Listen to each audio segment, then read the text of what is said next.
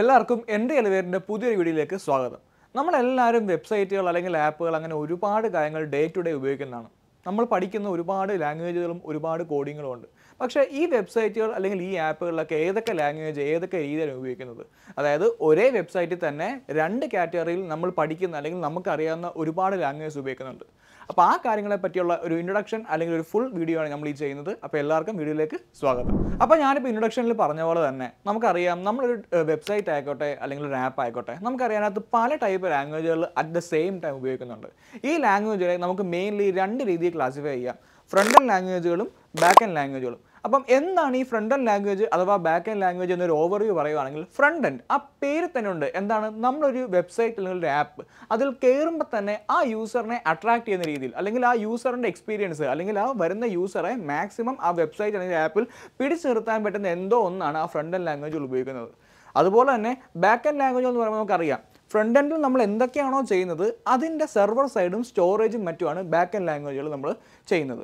അപ്പം ഏതൊക്കെയാണ് ഈ ഫ്രണ്ട് എൻഡ് ലാംഗ്വേജുകൾ ഏതൊക്കെയാണ് ഈ ബാക്ക് എൻഡ് ലാംഗ്വേജുകൾ അങ്ങനെ ഇനി അടുത്ത എന്തൊക്കെയാണ് ഈ ഫ്രണ്ട് എൻഡ് ലാംഗ്വേജുകളിലെയും ബാക്ക് എൻഡ് ലാംഗ്വേജുകളിലും ഇൻഡിവിജ്വൽ ആയിട്ടുള്ള പോസിറ്റീവ്സ് അതിനെപ്പറ്റിയാണ് നമ്മൾ ഇനി പറയാൻ പോകുന്നത്. ഒന്നാമത്തെ കാറ്റഗറിയാണ് ഫ്രണ്ട് എൻഡ് ലാംഗ്വേജുകൾ എന്ന് പറയുന്നത്. ഇപ്പം ഞാനിപ്പം തൊട്ടുമുമ്പ് പറഞ്ഞ പോലെ തന്നെ ഫ്രണ്ട് എൻഡ് അതായത് ഒരു വെബ്സൈറ്റിനെ ആദ്യം തന്നെ ഉപയോഗിക്കുന്നവയാണ് ഫ്രണ്ട് എൻഡ് ലാംഗ്വേജുകൾ എന്ന് പറയുന്നത്. ഇനി എന്താണ് ഈ ഫ്രണ്ട് എൻഡ് ലാംഗ്വേജുകൾ ഉപയോഗം എന്ന് പറഞ്ഞിട്ടുണ്ടെങ്കിൽ ഒരു എക്സാമ്പിളോട് ഞാൻ സിംപ്ലി പറഞ്ഞുതരാം. ഇപ്പോൾ ഫോർ എക്സാമ്പിൾ നമ്മുടെ ഫ്ലിപ്കാർട്ട് ആ ഫ്ലിപ്കാർട്ടിലേക്ക് നമ്മൾ കയറുമ്പോൾ തന്നെ നമ്മളെ അട്രാക്ട് ചെയ്യുന്ന രീതിയിൽ ഒരുപാട് ഇമേജസ് ഉണ്ടാവും. ടെക്സ്റ്റ് ഉണ്ടാവും ബട്ടൺസ് ഉണ്ടാവും നാവിഗേഷൻ ഉണ്ടാവും. ഈ രീതിയിൽ പറഞ്ഞ ഈ ടോപ്പിക്കുകളെല്ലാമാണ് നമ്മൾ ഫ്രണ്ട് എൻഡ് ലാംഗ്വേജ് വഴി ക്രിയേറ്റ് ചെയ്യുന്നത്. ഇനി ഇതിനെ ഓരോ നേരം നമ്മൾ പറയുവാണെങ്കിൽ ഇപ്പോൾ ഫ്ലിപ്കാർട്ടിൽ തന്നെ നമുക്കറിയാം. ബട്ടൺസ് നമുക്കറിയാം.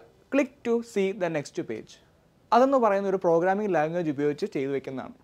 അതുപോലെ തന്നെ navigation please navigate through this window എന്നൊക്കെ പറഞ്ഞ് നമ്മൾ ദിവസവും നമ്മൾ ഓരോ വെബ്സൈറ്റ് അല്ലെങ്കിൽ ആപ്പ് ഉപയോഗിക്കുന്ന നമുക്ക് കാണാൻ സാധിക്കുന്നുണ്ട്. ഈ കാര്യങ്ങളെല്ലാം അതായത് ഒരു യൂസർ എക്സ്പീരിയൻസ് ഒരു യൂസർ ആസ്പെക്റ്റിന്റെ കാര്യത്തിൽ നമ്മൾ നോക്കുവാണെങ്കിൽ ഒരാൾ നമ്മളൊരു വെബ്സൈറ്റോ അല്ലെങ്കിൽ ഒരു ആപ്പിലോ കയറുമ്പോൾ അയാൾക്ക് കൺഫ്യൂഷൻ ഉണ്ടാക്കാത്ത രീതിയിൽ ആ ആപ്പിൽ അല്ലെങ്കിൽ ആ വെബ്സൈറ്റിൽ അദ്ദേഹത്തിന് ഫുൾ ഫ്ലഡ്ജിൽ ഫ്ലോ ചെയ്യാൻ പറ്റുന്ന രീതിയിലുള്ള കാര്യങ്ങളാണ് നമ്മൾ ഫ്രണ്ട് ആൻഡ് ലാംഗ്വേജുകൾ യൂസ് ചെയ്തെടുക്കുന്നത്. അപ്പോൾ ഫ്രണ്ട് ആൻഡ് ലാംഗ്വേജുകൾ ഉപയോഗിച്ച് നമുക്ക് എന്തൊക്കെയാണ് ചെയ്യാൻ പറ്റുന്നതിനുള്ള ഓവർവ്യൂ അല്ലെങ്കിൽ ജസ്റ്റ് ഐഡിയ നമുക്ക് കിട്ടിക്കാണും. അതായത് ടെക്സ്റ്റുകൾ ബട്ടൺസ് ഒരു ഇന്റർഫേസിലെ കളേഴ്സ് നാവിഗേഷൻ തുടങ്ങിയ എല്ലാ കാര്യങ്ങളുമാണ് നമ്മൾ ഫ്രണ്ട് ആൻഡ് ലാംഗ്വേജുകൾ പഠിക്കുന്ന വഴി അല്ലെങ്കിൽ ഫ്രണ്ട് ആൻഡ് ലാംഗ്വേജ് അറിയുന്ന വഴി ചെയ്യാൻ പറ്റുന്നത്. ഇനി ഏത് രീതിയിലുള്ള ആൾക്കാർക്കായിരിക്കും ഈ ഫ്രണ്ട് ആൻഡ് ലാംഗ്വേജ് പഠിച്ചു കഴിഞ്ഞാൽ ഒരു പുഷ് അല്ലെങ്കിൽ അവരുടെ കരിയറിൽ ഒരു ഹൈലൈറ്റ് ആകാൻ പറ്റുമെന്ന് ചോദിച്ചിട്ടുണ്ടെങ്കിൽ കുറച്ച് ആർട്ടിസ്റ്റിക് ഫീലിംഗ്. അതായത് കുറച്ച് ഡിസൈൻ തോട്ട്സും മറ്റു കാര്യങ്ങളുള്ള ആൾക്കാർക്ക് ഇത് പഠിച്ചിട്ടുണ്ടെങ്കിൽ നോർമലുള്ള ആൾക്കാരെക്കാളും ഒരു എക്സ്ട്രാ എഡ്ജ് അവർക്ക് കിട്ടുന്നതാണ്. കാരണം നമുക്കറിയാം ഇപ്പം ജസ്റ്റ് ഇപ്പം ഫ്ലിപ്കാർട്ട് ആയിക്കോട്ടെ അല്ലെങ്കിൽ ആമസോൺ ആയിക്കോട്ടെ അവർ അവരുടെ ഇന്റർഫേസും മറ്റ് കാര്യങ്ങളെല്ലാം ദിനം പ്രതി അപ്ഡേറ്റ് ആയിക്കൊണ്ടിരിക്കും. അവരുടെ നാവിഗേഷൻ ആയിക്കോട്ടെ അവരുടെ ബട്ടൺ സ്റ്റൈൽ ആയിക്കോട്ടെ അവരുടെ ക്ലിക്കിംഗ് പാറ്റേൺ ആയിക്കോട്ടെ അവരുടെ ക്ലിക്ക് ബേറ്റ് ആയിക്കോട്ടെ എന്തും ആയിക്കോട്ടെ. ഇങ്ങനെ അപ്ഡേറ്റ് ആയിക്കൊണ്ടേയിരിക്കും. അപ്പം നമുക്കിപ്പോൾ ഈ കോഡിംഗ് പഠിച്ച് അതായത് നമ്മളിപ്പം ഈ പ്രോഗ്രാമിംഗ് ഫ്രണ്ട് ആൻഡ് ലാംഗ്വേജിൽ ഏതൊക്കെയാണ് ഞാൻ പറയുന്നുണ്ട്. അപ്പോൾ ഈ ലാംഗ്വേജിൽ പഠിച്ച് നമ്മൾ അവിടെയൊക്കെയാണ് നമുക്ക് ജോലി കിട്ടുന്നതെങ്കിൽ നമ്മൾ ആ ഒരു കാര്യത്തിൽ അപ്ഡേറ്റ് ആയിരുന്നാൽ മാത്രമേ നമുക്ക് നമ്മുടെ കരിയർ ഒരു ഫുൾ ഫ്ലഡ്ജിൽ നമുക്ക് മുന്നോട്ട് പോകാൻ പറ്റുള്ളൂ. കാരണം നമുക്കറിയാം ഇപ്പോഴത്തെ കാലത്തെന്ന് പറയുമ്പോഴത്തേക്കും കോഡിംഗ് അല്ലെങ്കിൽ പ്രോഗ്രാമിംഗ് പഠിക്കുന്നവരുടെ എണ്ണം കൂടിക്കൊണ്ടിരിക്കുകയാണ്. പക്ഷേ ഏത് രീതിയിൽ അതൊരു ആപ്ലിക്കേഷൻ ലെവലിൽ പഠിക്കുന്ന ആൾക്കാരുടെ എണ്ണമാണ് കുറഞ്ഞുകൊണ്ടിരിക്കുന്നത്. അതായത് കമ്പനികൾ കൂടുതൽ ഫോക്കസ് ചെയ്യുന്നത് സർട്ടിഫിക്കറ്റ്സിനെ അല്ല മറിച്ച് ടാലന്റിനെയാണ് അപ്പോൾ നമ്മൾ ഈ പറഞ്ഞിട്ടുള്ള ഫ്രണ്ട് ലാംഗ്വേജുകൾക്ക് ഏറ്റവും കൂടുതൽ എക്സാമ്പിളായിട്ട് വരുന്നതാണ് H T M L C S S React എന്ന് പറയുന്നത്. അപ്പം ഈ മൂന്ന് ലാംഗ്വേജുകൾ മാത്രമല്ല പക്ഷേ ഏറ്റവും കൂടുതൽ ഈ പറഞ്ഞിരിക്കുന്ന എന്താ പറയുക നമ്മുടെ ആമസോൺ ആയിക്കോട്ടെ ഫ്ലിപ്കാർട്ട് ആയിക്കോട്ടെ ഇത് ബേസ് ചെയ്ത് പഠിക്കുന്ന ആൾക്കാരെയാണ് കൂടുതലായിട്ട് അവർ ഹയർ ചെയ്യുന്നത്. മറ്റും ഇതിന് മാത്രമല്ല ഇതിന് പുറമേ വേറെയും കുറേ ലാംഗ്വേജ് ഉണ്ട്. പക്ഷേ ഏറ്റവും കൂടുതൽ യൂസ് ചെയ്യുന്ന ഈ മൂന്ന് ലാംഗ്വേജസ് ആണ്. അപ്പോൾ ഫ്രണ്ട് എൻഡ് ലാംഗ്വേജുകളെ പറ്റി ഒരു ബേസിക് ഓർവ് നിങ്ങൾക്ക് കിട്ടിയെന്ന് വിചാരിക്കുന്നു.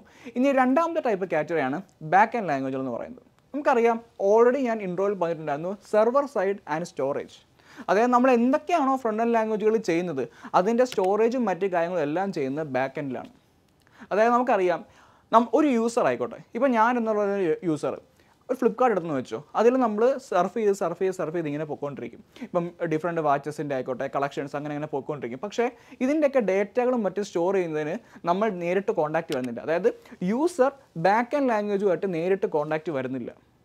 ഫ്രണ്ട് ആൻഡ് ലാംഗ്വേജിൽ യൂസർ നേരിട്ട് കോൺടാക്റ്റ് വരുന്നു. പക്ഷേ ബാക്ക് എൻഡിൽ കോൺടാക്റ്റ് വരുന്നില്ല. അത് നമ്മുടെ ബാക്കിൽ നടക്കുന്ന കാര്യമാണ്. അതായത് നമ്മൾ ആ ചെയ്യുന്ന പ്രവൃത്തികളൊക്കെ സ്റ്റോർ ചെയ്യുക അതിന്റെ നെക്സ്റ്റ് റിസൾട്ടൊക്കെ പ്രൊവൈഡ് ചെയ്യുക. അതൊക്കെയാണ് ബാക്ക് ആൻഡ് ലാംഗ്വേജ് നടക്കുന്നത്. ഇപ്പോൾ നമ്മൾ പ്രീവിയസ് പറഞ്ഞിട്ടുള്ള ഡേറ്റ ആർക്കിടെക്ചർ അല്ലെങ്കിൽ ഡേറ്റ സ്ട്രക്ചർ പുതിയ പറഞ്ഞിട്ടുള്ള പല ആപ്ലിക്കേഷൻസിനും നമ്മുടെ ബാക്ക് ആൻഡ് ലാംഗ്വേജ് ആപ്ലിക്കേഷൻ വരുന്നുണ്ട്. ഇനിയിപ്പം ഏത് രീതിയിലുള്ള ആൾക്കാർക്കാണ് ബാക്ക് ആൻഡ് ലാംഗ്വേജ് കുറച്ചൊരു അഭികാമ്യം? അതായത് ഞാനിപ്പം ഫ്രണ്ട് ലൈൻ ലാംഗ്വേജ് പറഞ്ഞപ്പോൾ പറഞ്ഞിട്ടുണ്ടായിരുന്നു കുറച്ച് ആർട്ടിസ്റ്റിക് അല്ലെങ്കിൽ എന്താ പറയുക കുറച്ച് ക്രിയേറ്റീവ് ആയിട്ടുള്ള ആൾക്കാർക്കായിരിക്കും ഇത് പഠിച്ചു കഴിഞ്ഞാൽ ഒരു ഇച്ചിരി എഡ്ജ് ഉണ്ടാവുക. കാരണം അവരുടെ ടേസ്റ്റിനനുസരിച്ചുള്ള ഒരു കാര്യം പഠിക്കുമ്പോൾ അവർക്ക് ആ ഒരു കരിയർ അതിനനുസരിച്ച് കൊണ്ടുപോകാൻ പറ്റും.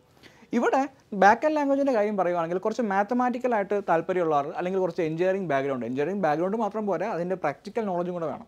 അപ്പോൾ ആ നോളജുള്ള ആൾക്കാർക്കായിരിക്കും നമ്മുടെ ഈ ബാക്ക് ആൻഡ് ലാംഗ്വേജിൽ പഠിച്ചു കഴിഞ്ഞാൽ അവരുടെ കരിയർ കുറച്ചുകൂടെ കൊണ്ടുപോകാൻ പറ്റുക. അതായത് പഠിക്കുന്ന കാര്യത്തിനെ അപ്ലൈ ചെയ്ത് അവരുടെ കരിയർ മുന്നോട്ട് കൊണ്ടുപോകാൻ പറ്റുക. ഇനിയിപ്പം വേറൊരു കാര്യം കൂടെ പറയുവാണെങ്കിൽ ഫുൾ സ്റ്റാക്ക് ഡെവലപ്മെന്റ് അതാണ് നമ്മൾ ഇനി പറയേണ്ട ഒരു ഏറ്റവും വലിയ ഇമ്പോർട്ടന്റ് കാര്യം എന്ന് പറയുന്നത്. ഇപ്പം നിങ്ങൾക്കൊരു ഫുൾ സ്റ്റാക്ക് ഡെവലപ്പർ ആവണം. അല്ലെങ്കിൽ ഇപ്പോൾ എന്താ പറയുക ഒരു മൾട്ടിനാഷണൽ വെബ്സൈറ്റ് അല്ലെങ്കിൽ എന്താ പറയുക ഒരു മൾട്ടിനാഷണൽ കമ്പനിയുടെ വെബ്സൈറ്റ് മെയിന്റെയിൻ ചെയ്യുക. അല്ലെങ്കിൽ അത് ക്രിയേറ്റ് ചെയ്യാനൊക്കെ നമുക്ക് ചെയ്യുവാണെങ്കിൽ നമുക്ക് ഒരു ലാംഗ്വേജ് പഠിച്ചാൽ മാത്രം പോരാ. ഫ്രണ്ട് ആൻഡ് ലാംഗ്വേജും പഠിക്കണം ബാക്ക് എൻഡ് ലാംഗ്വേജും പഠിക്കണം. കാരണം ഒരൊറ്റ കാര്യത്തിൽ തന്നെ ഈ രണ്ടും കൂടെ ഇൻകോപ്പറേറ്റ് വരുന്നുണ്ട്. ഇപ്പം എക്സാമ്പിൾ ഞാൻ പറഞ്ഞ ഫ്ലിപ്കാർട്ടിന്റെ എക്സാമ്പിൾ ആയാലും അതിനകത്ത് ഫ്രണ്ട് ആൻഡ് ലാംഗ്വേജുകളുടെ ആപ്ലിക്കേഷൻ നമുക്ക് അറിഞ്ഞിരിക്കണം ബാക്ക് എൻഡ് ലാംഗ്വേജ് അറിഞ്ഞിരിക്കണം.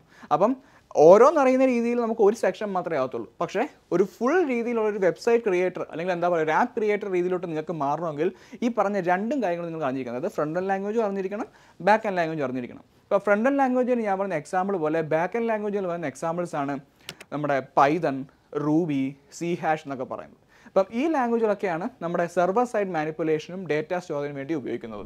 അപ്പോൾ ഒരു വെബ്സൈറ്റ് അല്ലെങ്കിൽ ആപ്പ് ക്രിയേറ്റർ ആവാൻ ആഗ്രഹിക്കുന്നുണ്ടെങ്കിൽ എന്താണ് ഫ്രണ്ട് എൻഡ് ലാംഗ്വേജുകൾ അല്ലെങ്കിൽ എന്താണ് ബാക്ക് എൻഡ് ലാംഗ്വേജുകൾ അതിനകത്ത് ഏതൊക്കെ ലാംഗ്വേജാണ് ഉൾപ്പെടുന്നത്?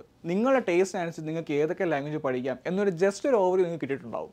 അപ്പോൾ നമ്മുടെ എൻട്രി എലവേറ്റ് കോഴ്സ് നിങ്ങൾ ചേർന്നിട്ടുണ്ടെങ്കിൽ ഇതുപോലത്തെ ഒരുപാട് ഇൻഫോയും ഒരുപാട് കാര്യങ്ങൾ നിങ്ങൾക്ക് കിട്ടുന്നതാണ്.